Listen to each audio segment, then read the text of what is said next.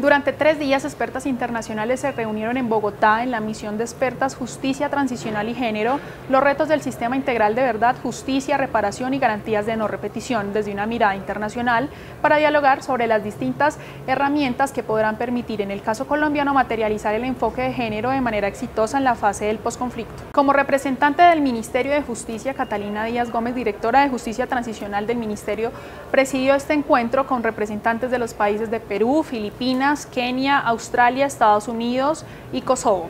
Estas son las principales conclusiones. Talking about women's political participation has to be something that is meaningful for the women themselves.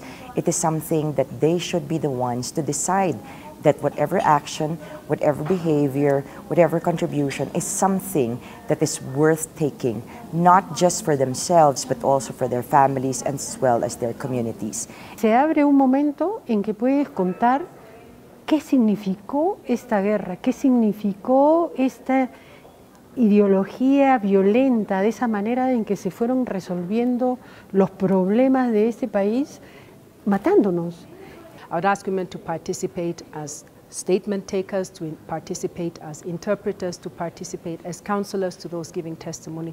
Participate, participate, participate, because if women do not participate, then women's voice will not be heard. Además, ser la satisfacción y ser parte de la satisfacción de cómo como sociedad superamos eso juntas.